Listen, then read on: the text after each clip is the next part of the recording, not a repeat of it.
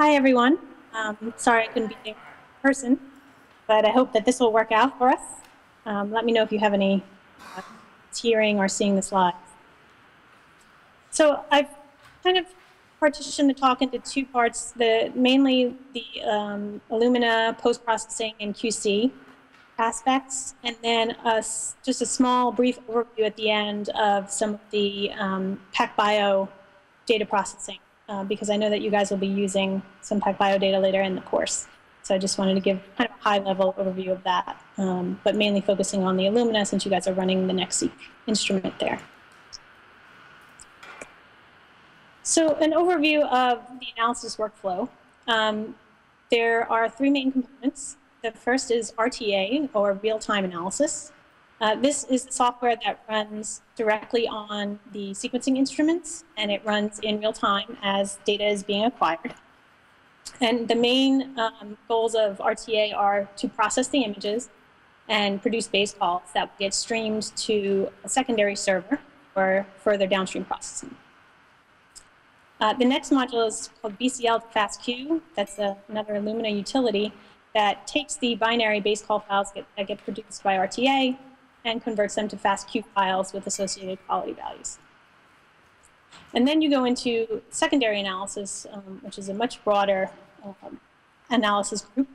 You guys will be learning later on in the course uh, about BaseSpace, which is a large suite of applications um, from Illumina available on, on the cloud um, to do a wide range of applications, RNA-seq, um, resequencing utilities, ChIP-seq, so I won't go too much into those aspects as you're going to get more in depth later on, but I'll just give you a high level overview of whole genome sequencing um, secondary analysis that is available from Illumina called Isaac. That was just walking through the analysis workflow. And now we're going to jump into the image processing. So this is a utility called Firecrest. Um, and the main goal here is to take the signal from the clusters and convert to intensities for the four bases, A, C, G, and T. Um, several things have to happen at this stage to convert from the images. Um, most importantly, the clusters need to be mapped. So they need to be registered with a unique XY location on each of the images. And background needs to be subtracted from the images. And then pixel offsets need to be corrected as well. Um, this happens because there are slight offsets between the optical paths for the ACG and T bases, and those images need to be realigned. Oh my. Uh, my slide is not going through correctly. One second. Okay. Um, you guys have been using the NextSeq instrument. Um, on the HiSeq and MiSeq instruments, there are two lasers, green, and four dyes for ACG and T. So you take four images at each cycle to capture all the data. The NextSeq is working on a two-channel system with the red and green laser and then only two dyes. So there's either a red, a green, a combination of the two dyes, or dark cycle for G. Because of this, template generation occurs over five cycles. And because G is a dark cycle, it's appropriate to make sure that you minimize the number of Gs that you have in the first five cycles so that you can ensure proper registration of the clusters and proper mapping. Because they are dark cycles will not give you the proper signal and information to assign the cluster position. The reason that the cluster detection is happening over multiple cycles is because if there are two clusters close together, neighbor clusters, that are fluorescing the same base in a cycle, you can get overlap between these clusters and it's difficult to resolve them. Whereas if you capture images over several cycles, it's less likely that those clusters are going to continue to fluoresce the same base over multiple cycles. And once they're fluorescing in different channels, you can more easily resolve the clusters without that overlap. Okay, next we go into the Bustard module. This is um, base calling and quality calibration for the reads. So the files that get streamed uh, across from RTA are called BCL files. They're a binary file that contains the base call, sequence read, and the quality scores. So the goal is to transfer the intensity information that was captured from image processing and convert it to a base call for ACG or T and an associated quality value, taking into account signal to noise ratios uh, mainly. And what you want to do at this phase, the most important corrections that need to be applied are matrix and phasing corrections. The matrix correction is to correct for overlap between the four different dyes. There's spectral overlap between four fluorescent dyes attached to the bases. Um, for the NextSeq, this actually isn't applied, but for HiSeq and MiSeq, it does need to be applied. And then the next correction is called the phasing and pre-phasing correction. This correction is because the strands in a growing cluster um, sometimes fall out of phase with each other. So one strand may miss an incorporation, and another strand may incorporate more than one base in a cycle.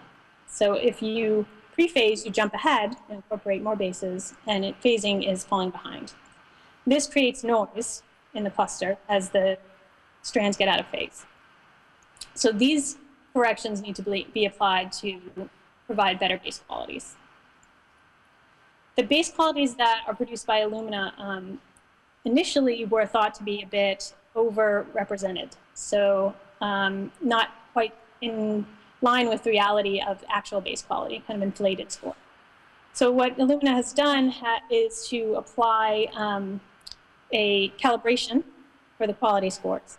They've run multiple runs of a control library called PhiX and mapped them to back to their reference and looked at actual mismatch or error rates compared to estimated rates. And so they use this information to dial back the quality values and give you a more uh, robust estimate of quality for base.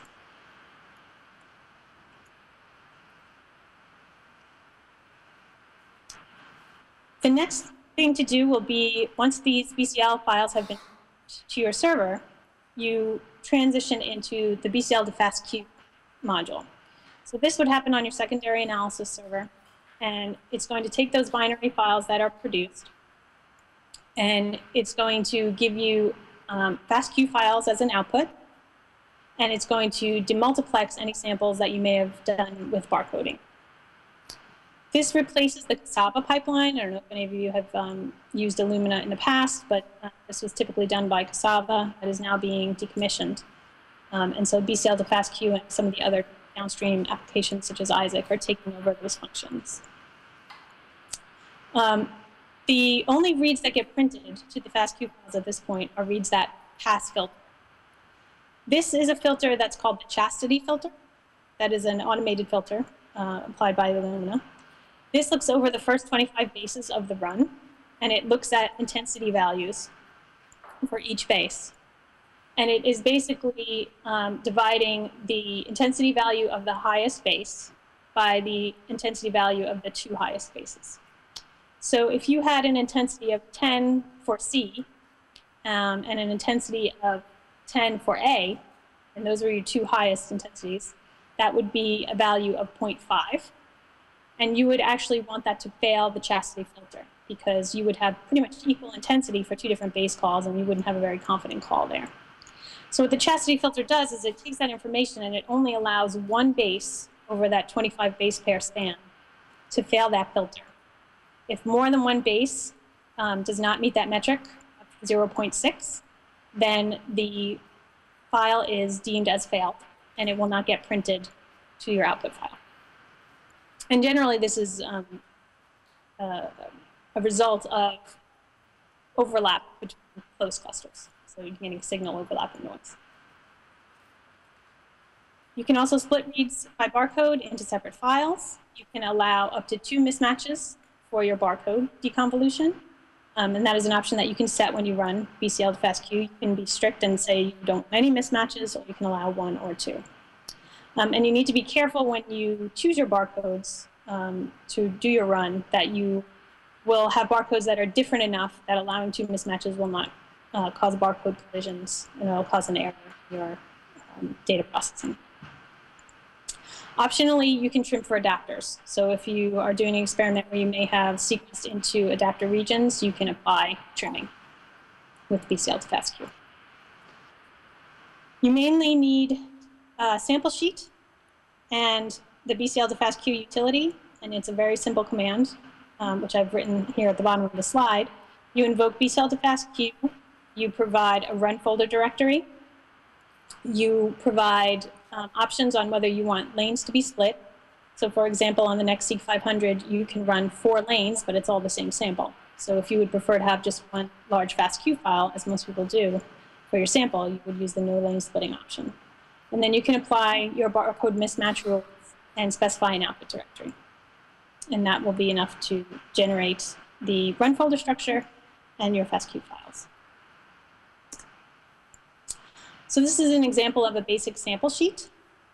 Um, you provide a flow cell ID, the lane, the sample in each lane, uh, whether or not it's a control, some operator information, and importantly, a sample project. This is what is going to name your subfolders when you create your directory structure, structure for your output files. Um, one thing to note when you're creating the sample sheets, Illumina has a utility called Experiment Manager that will help you uh, create sample sheets so that you can provide the correct index sequences by looking them up. Um, and also that you avoid illegal characters because there are certain characters that will not be allowed and will cause BCL to FASTQ to um, error out.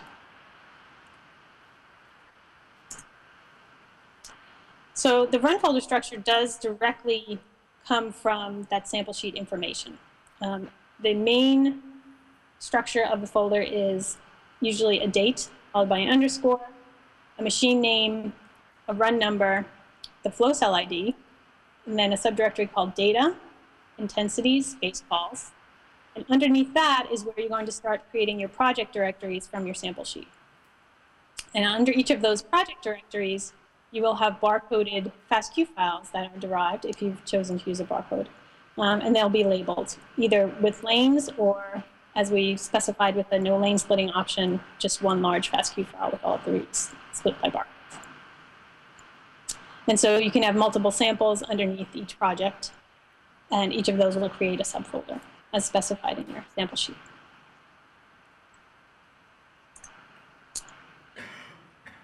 FASTQ files that will be generated are in uh, the following format. They are um, a header line with the preliminary at symbol. And then the header line is delimited by colons. So the first um, section is the instrument name, followed by a run ID number, flow cell ID, a lane number, a tile number. The tiles are just units of each lane, um, which are segmented for processing. And then the XY coordinate of your cluster. So this is from your initial cluster registration and mapping. Um, followed by the read number, whether or not the read passed filter. So again, that's the chastity filter. And the barcode sequence. The next line in the file will be your sequence read. Uh, this is a poor example of a read that would not have passed filter. It's just all A's. Um, normally you would have a much more diverse sequence here. The next line is the plus symbol, and that denotes that the following line is going to be your quality scores. So these quality scores are um, encoded in ASCII2 format. It's an, actually an ASCII2 plus 33 format, which is a standard FASTA, FASTQ format for Sanger. Um, and so you can just do conversion um, with an ASCII2 table to get the actual values. The quality scores that are produced are uh, on a Phred scale. So this means uh, a scale in which a value of 20 would mean that there was a 1 in 100 likelihood that the base call position was incorrect. Uh, value of 30 would be 1 in 1,000, 41 in 10,000, etc. So that's the Phred scale. You will be provided a summary after running BCL to FASTQ. Um, and this is saved in the run folder, so you can access it uh, separately from some of the software that we're going to be talking about um, in a few slides called SAV, which is a utility that you can use a graphical viewer to look at the quality of your run as it's progressing. Um, these files are just saved into the run directory folder, and they'll give you a summary of the clusters that have passed filter, the raw clusters that you generated, um, your overall yield, and importantly, um, this lane summary gives you information about your sample split by barcode. So you can determine the percentage of reads in the lane that matched your barcode. So you can look at uh, how well the pool was um, balanced. You can look at the percentage of perfect barcode reads versus one mismatch to see how well your barcodes were able to be deconvoluted. And you can see the quality of each subset of reads with Q30 bases, percentage of Q30 bases, so high quality, and a mean quality score. Uh, one important thing to note is that the bottom of this file provides you with top unknown barcodes.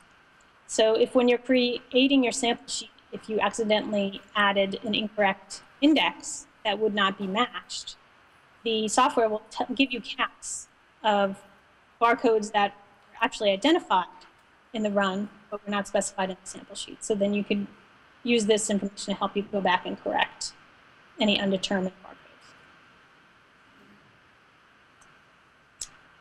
So there are some barcoding considerations for the HiSeq and NextSeq instruments. Uh, because of the registration over two lasers, when you are pooling low complexity, so fewer barcodes, four, five, six barcodes in, on that order, you need to make sure that you balance so that there is signal for both lasers in both colors at each base of your index read.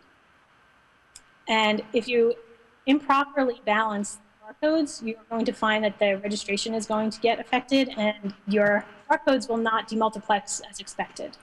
You'll end up with ends and undetermined reads. So if you are thinking about doing barcoding, pooling experiments um, with a few barcodes, you should really pay attention to the signal balance in both colors. If you're going to use a large pool of barcodes, most likely, just by chance, you're going to end up having at least one barcode with a signal in each channel as you multiplex deeply. So it becomes less of an issue as you do more. But for low plex multiplexing, you do want to pay attention to this. For the NextSeq, um, using the two-channel system, at least one non-G base is required in the first two cycles for the index read. So that's something to keep in mind. You don't want a dark side.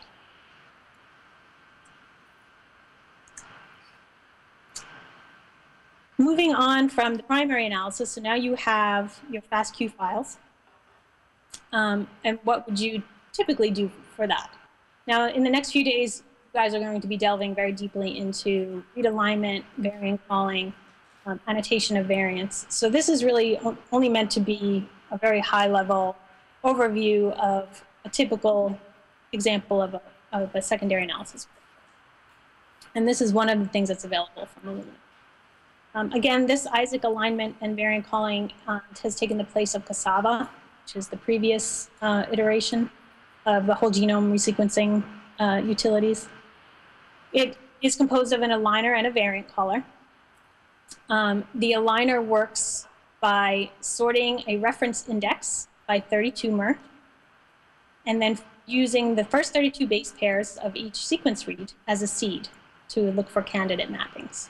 So it searches through the reference index to look for uh, potential matches. It then selects the best mapping using 3' low quality and adapter trimming of the read. So it will extend through the end of the read to find the best global alignment.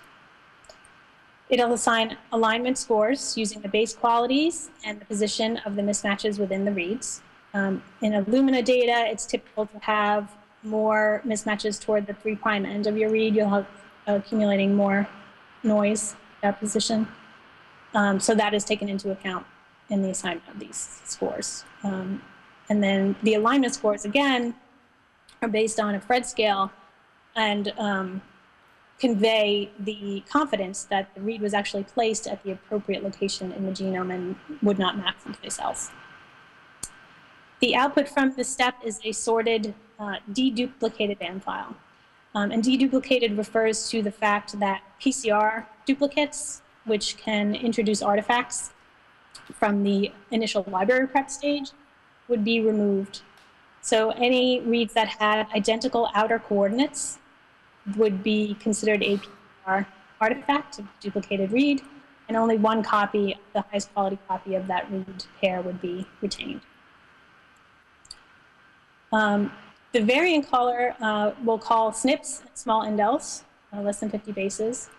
Um, it computes the probability of a um, call being non-referenced, and then also computes the probability of genotype, heterozygous or homozygous, for a non-reference position.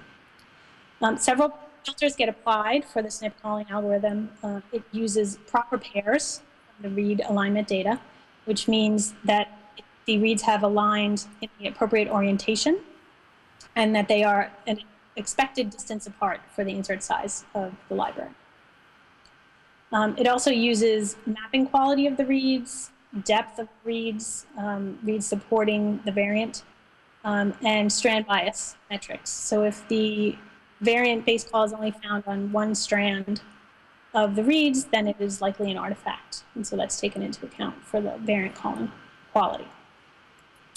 Uh, reads also get aligned around small indels um, to help reduce the false positive SNPs that can get generated from misalignment. And the output file is a GVCF output, which is genome VCF file, variant call format. This is a standard format that's used for variant calls. Again, you'll be using these files much more in the next few days. The GVCF file is um, basically a file that not only prints out variant positions and information about um, genotype and uh, read depth support at each of those positions, but also for positions that were considered to match the reference, you still get a quality score, genotyping quality score, and read depth at these positions as well. So it's not just variance. It basically calls for everything that was mapped the alignment.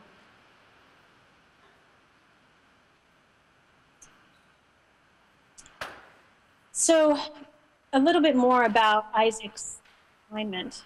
Um, it's a several pass alignment system to try to increase the number of reads that are actually able to be mapped. The first round is a single seed alignment, and then that's followed by multi-seed and gapped alignment, which I'll get into in the next couple of slides. These are done to help improve repeat resolution um, using multiple overlapping seeds and trying to anchor into unique data, and also to try to rescue um, orphans. So if one member of a read pair is able to be mapped uniquely to the reference, but its mate pair is not able to be mapped, the aligner will search within a specified um, window size, basically the insert size expected from the library, to try to place that mate appropriately. And then I have a reference for the Isaac paper for additional reading bottom.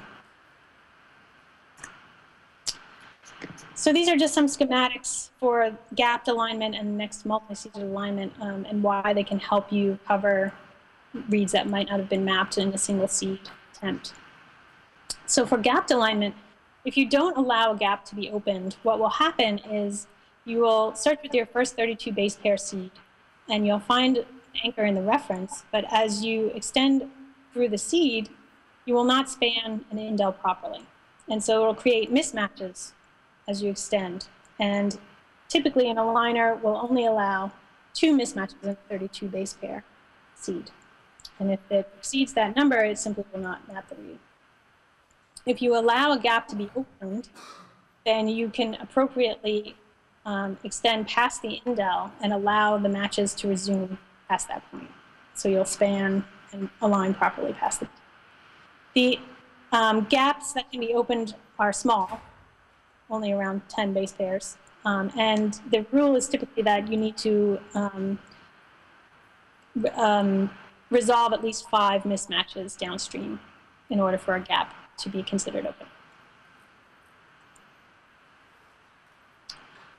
For multi-seeded alignment, um, you recover reads because if you first try to um, align the first 32 base pair seed read, don't find um, region where the seed maps appropriately to the reference because of an indel.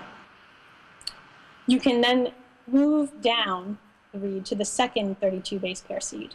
So trying a different window of the read and try to anchor uniquely past the indel and then allow the aligner to open a gap to span the indel so that you can now place that read appropriately in the reference.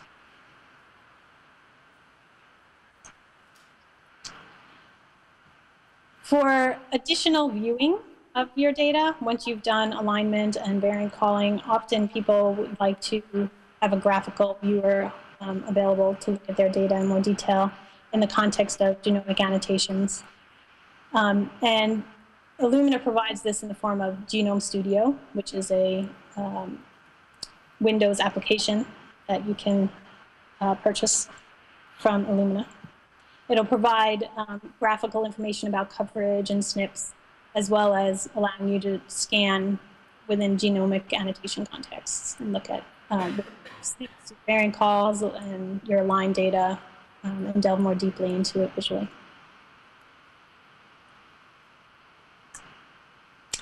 Um, Illumina also offers something called Variant Studio.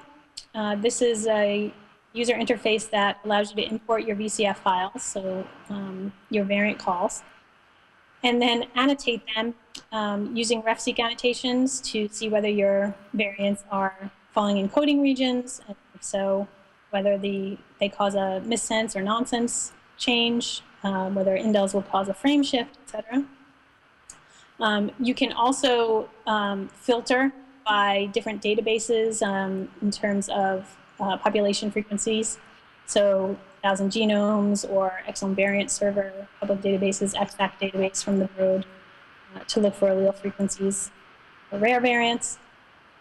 And you can classify variants with tools like SIFT and PolyPhen to try to predict deleterious um, non-synonymous changes that might affect protein. Uh, this would also let you filter based on a family structure, if you were looking at a trio data or pedigree um, and a disease model, a dominant or recessive disease model. Um, and if you were doing cancer work, you could look at uh, somatic variants and COSMIC database. And um, many reports and histograms will be generated for you with this variant studio application. So it's an option that's out there certainly there are many other options, and you guys are going to actually be learning about many of them, um, many which were written by the instructors of the course actually in the next few days um, to do these very same um, annotation and analysis. Okay, so that's kind of the overview of a workflow from primary data processing and how you would go into secondary data processing. Now I'm going to switch more into the aspects of the data. So the main um, tool that Illumina provides is called SAV, Sequence Analysis Viewer. And this is a nice graphical interface that gives you graphs um, to look at quality values, um, look at how uh, the run performs over time, um, and look at general statistics for intensities and many different metrics. This is a the main screen and there are several different charts that you can look at. Um, this analysis tab shows you the flow cell chart on the left panel, in which there are um, these long segmented lines represent each lane of a flow cell. And you can look at intensity um, for either surface of flow cell, particular cycles of the flow cell. Uh, you can limit to just one base and these drop-down menus allow you to toggle between different values so that you can look across the flow cell. What you would see in the instance of this screenshot is that lane one, in this case, is showing much lower intensity than the other lanes. So the flow cell chart is a nice heat map type of approach that you look for large scale issues in the sequencing. Uh, this might be a problem with reagent flow or the camera not imaging properly at this point. And so this is a, a broad overview of how things are going and you can catch things rather quickly. Um, the middle panel is the data by cycle panel. Again, you can toggle uh, for different values. You can look at different lanes, different surfaces, um, each space individually. And you can look at different metrics from intensity to quality values. Um, this intensity pool basically shows you uh, for each cycle the A, C, G, and T intensities that were reported. And so you could see if you had um, a sample that had a bias base composition, you would be able to tell at which cycles that was occurring, and that might actually affect your quality values for the run because the optics do prefer, um, in terms of cluster registration, that you have intensity in channels in a balanced fashion. The panel to the right is a Q-score distribution. Um, and so this is basically you want to see the peak of your values to be to the right of this chart um, with higher Q-scores in the 30 to 40 range. And your percentage of Q30 bases for the run you would want to be quite a bit higher. This would be a poor um, Q30 percentage for this lane, and that would be obvious from the intensity issues that you can see on the flow cell panel. Something is going wrong here. Um, the panel in the middle bottom is called data by lane. This shows you the cluster density, the raw density, and the filtered density. The Box plot shows you raw, and the green shows you um, the, after the chastity filter. And if there's a big difference between those two box plots, that typically shows you that you've got a lot of failures in your lane. There's um, a quality issue there to be addressed. You want to see a, a pretty tight correlation of raw and filtered. And then you just have a heat map view of the quality scores, just a different way to view by cycle for each lane. So one important thing to do when you're trying to QC is to check images. So there are thumbnail images, uh, small snapshots that get saved as the run is progressing. And typically when you see an issue, like we just saw with lane one, where you were seeing a drop in intensity, you'd want to go and check the images just to see if the camera has gone out of focus or if there's something um, blocking the focus um, and try to determine what's going on with the run. Uh, this is the SAV summary. So this gives you an overall summary of the run as it's completed. Um, it gives you your total yield, so you get an idea of the estimate of your run output. Um, and then it gives you uh, summaries by read for each experiment. So if you look across the values for the read one um, summary report, you find the lane, the number of tiles that were analyzed, the density for that lane. So typically in a HiSeq flow cell, we would shoot for around 885 um, K per millimeter squared for a typical cluster density um, so that you maximize your yield without losing data to um, an overly dense flow cell that you can't register clusters properly. For the percentage of clusters that pass filter, what you see here would be um, greater than 80%, and typically on a really good run, greater than 85% of the clusters passing filter. Um, the phasing and pre-phasing values, you typically want to see below 0.5 here. When those values rise, it's typically an indication of a flow problem um, or reagent issue. Um, then you will get your read output um, raw and filtered. You'll get the percentage of Q30 bases for your lane. Again, in a good run, you'd want to see this being above 80%. And then you get alignment statistics. So these statistics are automatically generated if you spike in a PhiX control library to your sample. So this is often something that we'll do for QC purposes um, using just a small amount, about 2% of a PhiX control library. It's a standardized library that you can align to the reference and look at error rates across um, the cycles of the run. And so you can see error rates at 35 cycles, 75 cycles, and all the way through the end of the read. So you can see how errors are accumulating as you're um, going through incorporations. And typically you'd want to see those error rates being less than 1%. Um, and then you have the intensity panels, and generally you want to see higher intensities are better, and you would like to see intensity being retained um, over the cycles. Uh, the lasers do get a um, bump in intensity uh, as the run progresses to try to um, accommodate typical signal loss as the run is collapsing due to signal to noise increasing. So you will see that in some of the following graphs, the intensity does get bumped up um, by the instrument, but you just don't want to see a great loss in uh, intensity. So this is an example of using the data by cycle to check your quality scores and look at the evolution of your run over time.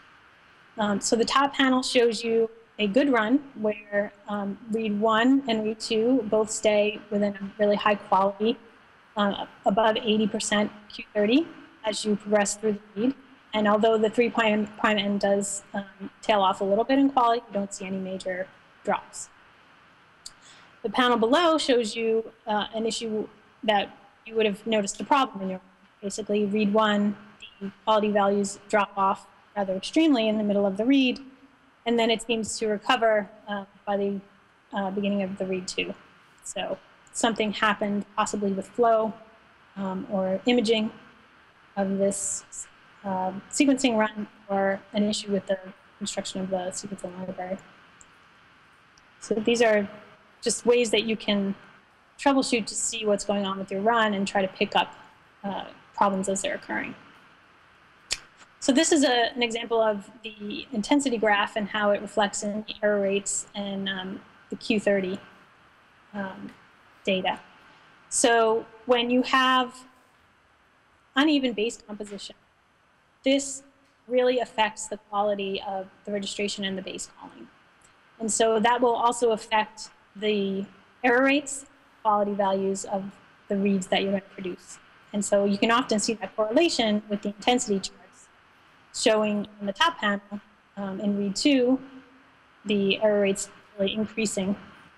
Um, and then on panel on the bottom, um, a nicely balanced run on read two, but errors in read one, where there's a stretch of bases that are well balanced. So there's some sequence bias there. Uh, this is an example of using the flow cell chart to detect um, a problem with the flow cell itself. So this show, panel shows that lane four was showing uh, significant intensity drop. And if you look at the thumbnail images here, what you can see is that the oligo lawn of the flow cell actually got stripped. So that is the uh, flow cell defect that's affecting the quality of the run there. Uh, one other thing that you can do with the addition of the PhiX library, so in addition to providing a control metric that allows you to get um, alignment statistics from RTA, um, you can also use uh, a larger percentage of a PhiX um, spike in in your library to help alleviate the problems with unbalanced signal. So often the 25% or 30% spike in of PhiX, if you have a really unbalanced library, might help with the, the registration issues that often um, produce lower quality data. So that's one thing that you can do.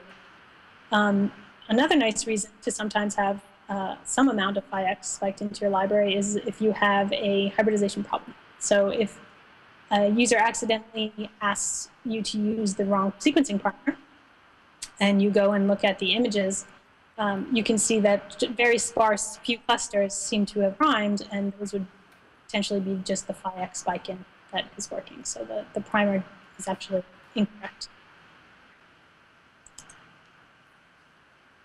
So now moving away from SAV, if you don't have access to um, SAV, if you're simply getting FASTQ files as a, an output for Illumina data processing that you're doing, um, what can you do to assess the quality of that data? And there are several pieces of um, software that will allow you to do that. One very popular one is called FastQC um, from the Babraham Institute. And this allows you to um, download a tool that will assess a FASTQ file and provide you with charts and metrics on whether you have good base quality across the run, GC content, and other things.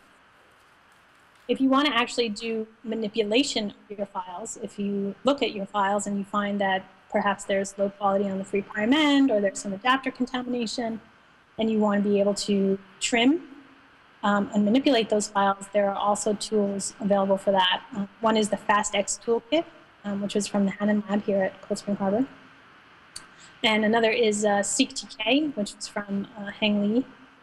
And um, there are also additional tools. One that comes to mind is Cutadapt. Um, sorry, it's escaping me the lab that that is from.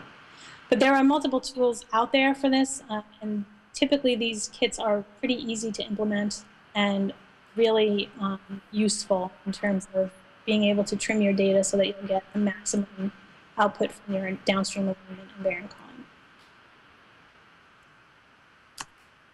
So I wanted to do an example. Um, this comes right from the training site for FastQC of what you would see um, when you upload your data. So this is the, the type of report that would be generated when you would um, input a FASTQ file. This is a, showing a very nice, high quality um, Illumina short read uh, report. So you can look at things such as the per-base sequence quality. So this is very similar to what you can do with SAV, but if you don't have access to that, um, this is a nice way to look at a box plot across the read, making sure you don't have a drop-off on the three prime end, as we discussed. Um, you can look at uh, sequence content, um, quality scores, uh, GC content. So if you are worried about any bias in your library in terms of GC content, you can assess that. And basically, this report will provide you with these graphs and metrics and um, color coding. Basically, green with a check mark means that it's okay. Um, orange with an exclamation point is a warning. So you'll set a level at which you'll call something a warning. So for example, if you had perhaps 10% of the data showing uh, adapter sequence matches, you would get a warning. And then if it was 20% data, uh, you would get basically a red X saying that there was a, a main issue to be addressed. So you can look in the documentation to see what those metrics and thresholds are for deeming something okay or problematic. And then you can adjust that depending on the expectations of your library.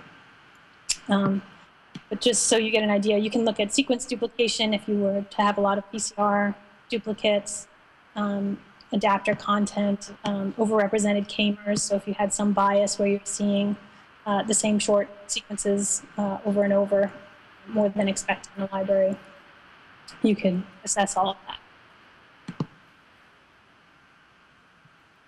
So that's a nice tool um, that's available. And then this is just a link to uh, something that looks actually bad. Um, so here you can see in the per sequence quality plot right away, the box plots are really dropping off toward the three prime end of the run. So this is a case where this could help guide you in um, where you would want to trim your data um, and set your cutoffs for your downstream processing.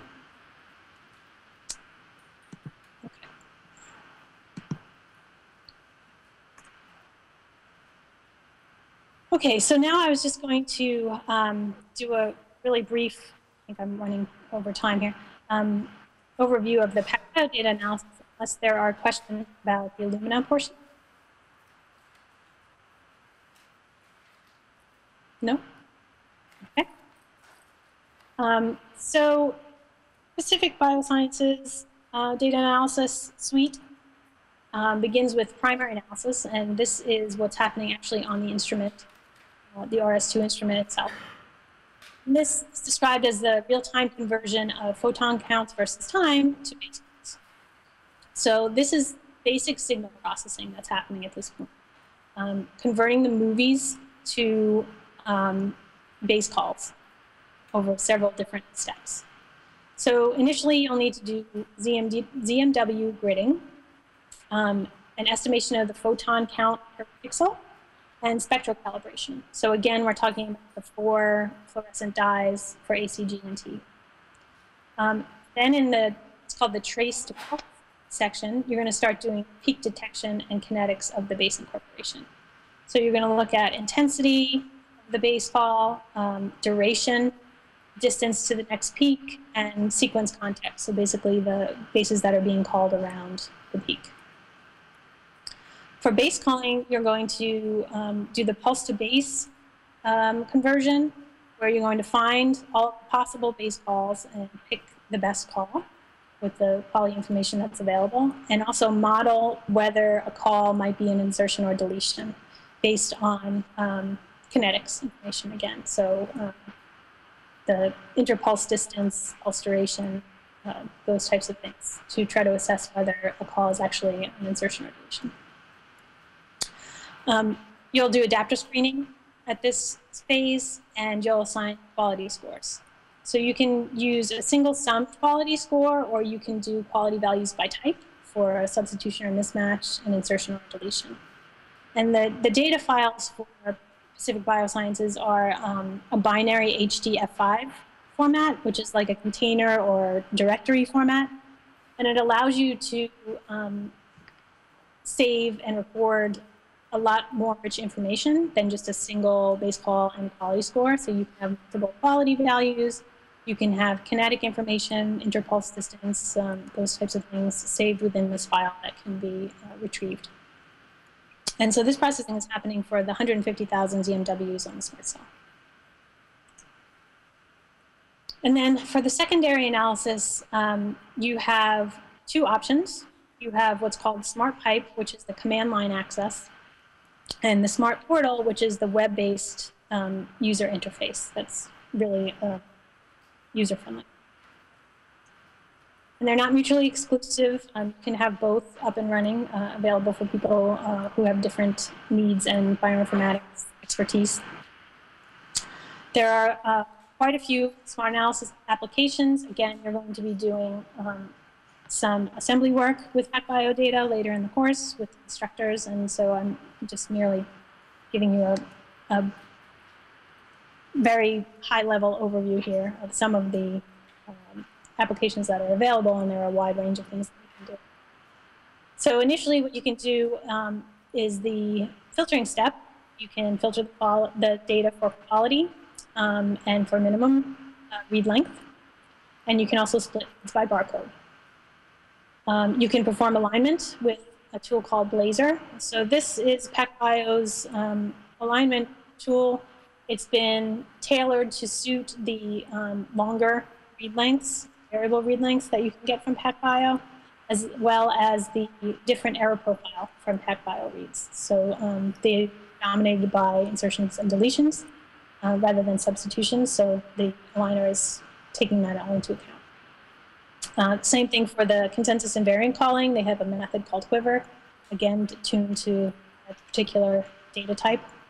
Um, you can do de novo assembly or hybrid assembly. There are tools called HGAP for de novo assembly or AHA, which is a um, scaffolding hybrid assembler or PacBio long read data.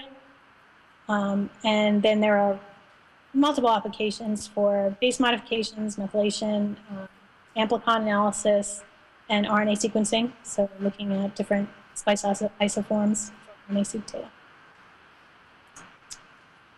Um, the SMRT Portal is uh, one of the easiest ways to really access the initial uh, quality information for your run and get a, a, quick view. So the portal is um, quite easy to navigate. There are options to design a new job if you want to start an analysis of uh, reads that are streamed over from the RS to, to your secondary server and stored there. You can simply import them and um, uh, design your job for any downstream application that you want to do from simply filtering and exporting FASTQ files to anything downstream. Um, and this allows you to import smart cells. Um, sorry, did somebody ask? Okay, sorry, have been feedback. Um, import smart cells, um, import reference sequences, um, and manage uh, data, monitor jobs that are running, and view data for jobs that have already been processed. Uh, the first step would be to import your data. So you save your smart cells, your primary data that is streamed over from the instrument, um, which contains the HD5 files, in a data on your server, a, directory on your server, um, and you simply provide the path to that data. The data will be imported into the portal, and then you provide a reference sequence. That sequence will get indexed for downstream alignment. Um, if you choose to use any of the BLASR or other alignment uh, protocols. And then you'll get an email sent back to you when your reference index is ready and you can go ahead and start your jobs. Uh, typically, you would just click on the Design Job tab and create a job name, add any comments that you wanted, um, and then select a protocol. So PacBio has provided protocols here um, for typical use cases. These protocols are all saved on the server, and you can modify uh, protocols and customize protocols to create your own. Um, but you can also use the command line SMRT Pipe tools if you wanted to do any of this analysis. Um, they will allow you to have um, much more control over the options that you want to use for your analysis. So often command line tools are uh, a better choice. But you are actually able through SMRT Portal to do a bit of configuring for the, the, the uh, application that you want to run. So you can choose from any of the following um, applications in the pull-down menu from a typical resequencing protocol, which would be aligning to a reference and calling variants, to a um, de novo assembly or uh, amplicon analysis, or a simple what's called a reads of insert um, analysis. So reads of insert has um, taken the place of what used to be called CCS or circular consensus. It's basically providing you with a consensus read, one consensus for each ZMW, um, of reads that have sequenced through the adapter on both sides, so a full pass of your insert. And you can specify how many passes you require for a read of insert to be um, printed. Uh, anywhere from one to three, depending on how uh, many passes you want to require to try to increase your read accuracy. Um, since the errors are random in PacBio data, doing more and more passes should allow you to have a higher accuracy uh, read consensus. So you would simply pick the smart cells that you wanted to analyze from the list in the panel on the left, um, choose a reference sequence and your protocol, and hit start. The job would be submitted to the cluster using the templates um, that PacBio has provided, and you would be able to follow along with the progress of the job and uh, view any logs as the run progressed. So as I was saying, you can um, configure these jobs in SMRT Portal by clicking on the protocol. You get a little bit of a description of what the protocol is doing. So for an insert um, mapping protocol, you're going to generate a consensus sequence and then map to a reference. And so for each of the um, .xml protocols that you see here, you can do a little bit of um, configuring by clicking on the panel. Um, and in this case, for reads of insert, you can specify the number of passes that you want to uh, create a consensus for each ZMW. Once the job is done, you would get um, report with many nice graphs to help you assess quality of your run. Um, you get overview statistics, um, which would show you whether you had adapter dimers contaminating the library or short inserts. You get an overall total of the number of bases you get an N50 read length, which means that 50% um, of the reads generated would be at this length better. Um, and then you get statistics for the polymerase read length, um, sub-read length, and reads of insert. So polymerase reads will show you the ability of the sequencer, how long it was able to sequence going around and around the templates. Reads of insert will give you the maximum length of your insert library because you're looking between the adapters from one to the other. And then subreads will give you any of the reads that are formed, whether you make it all the way around the smart cell or not. So any short read that's formed as you're going around the bell.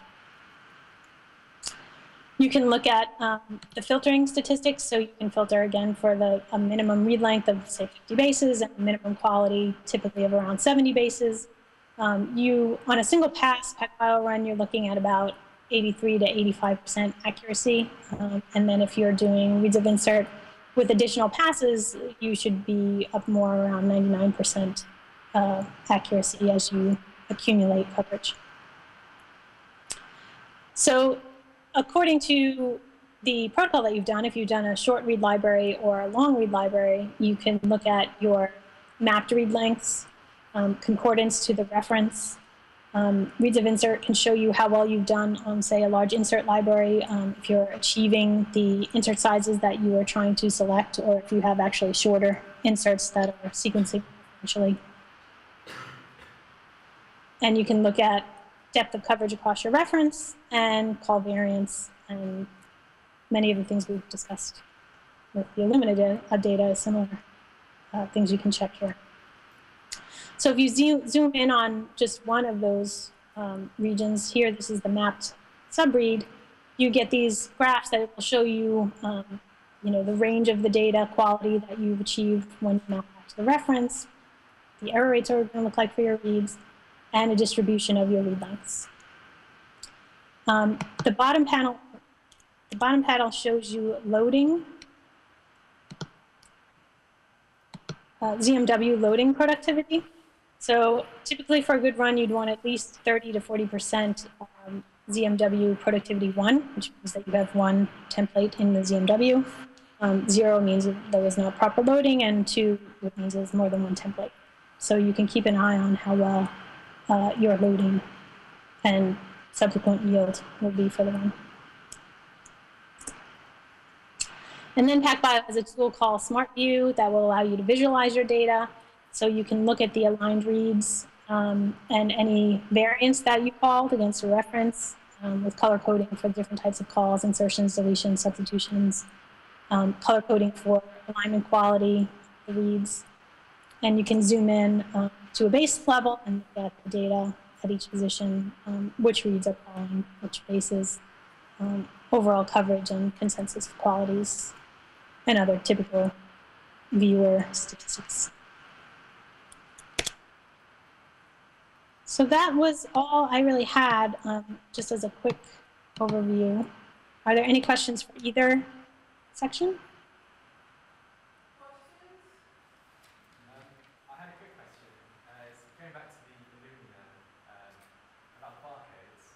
Yes. So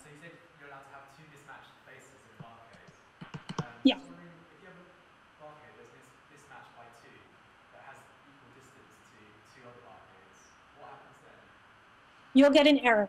So when you're doing the BCL conversion, you'll get an error and it will report to you that there are barcode collisions and the barcodes are too close to allow two mismatches. And then you could restart the run allowing one or zero mismatches to see which will work. Sure.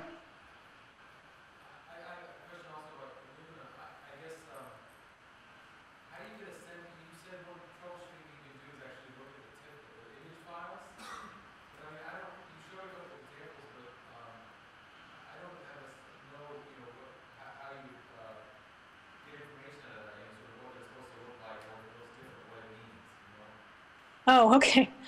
Um, well, I mean, some of that comes from experience, but basically what you would want to see, so let me go back to one. Um, so here's one example of an image. What you would want to see on these images would be um, a more densely packed lawn of clusters that are sharply in focus um, and no blurriness or fuzziness across the image. Um, you would not want to see, so in this case, you just see basically blank cells.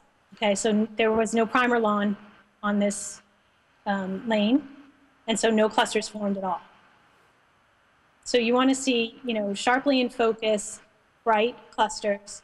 You want to see a reasonable density, because if you get a really high density on a flow cell, what you'll start to see is the images will be extremely bright so that you really can't discern anything. Um, it's just overloaded with signal.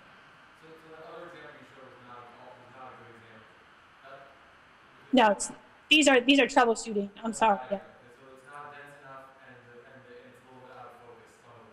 Yes. Yes.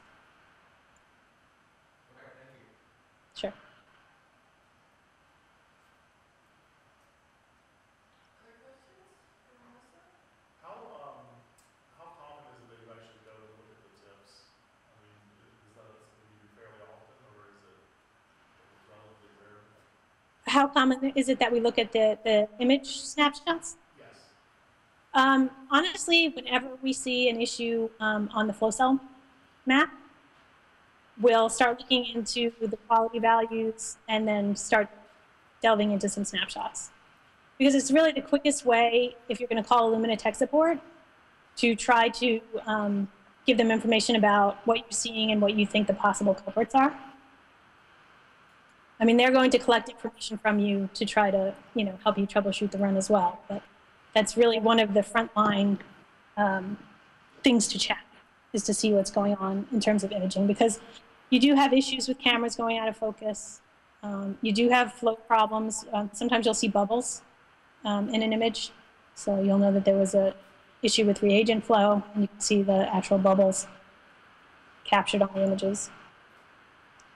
And, and do you usually just, I mean, there, there are a lot of image files, do you look at like the first five or something? So you, you use the flow cell map to try to guide you to where the issue is. So looking at the tiles and the, the segments of the lane of where you're trying to see the problem. So you can kind of quickly scan through and just click several different um, images across the tiles and you'll start to see a pattern. But yeah, I mean, you're not going to go through necessarily one by one by one. Um, usually it's a, it's a larger scale problem that you can catch by clicking through some of the images from the, you know, the middle of the flow cell or the, the top or the bottom. You can see it in a region.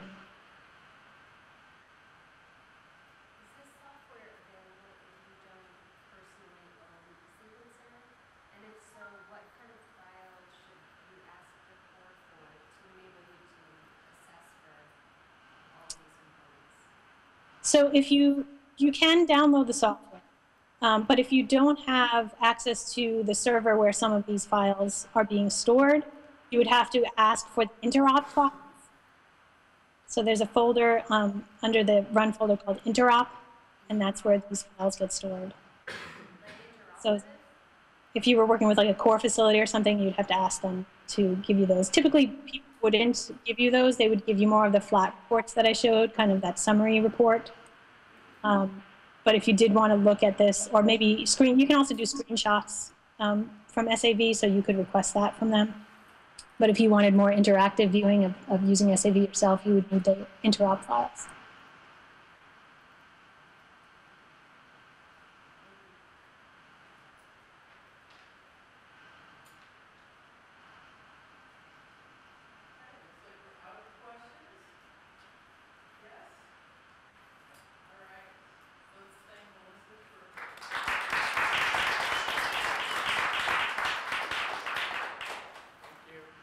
Great, thanks everyone.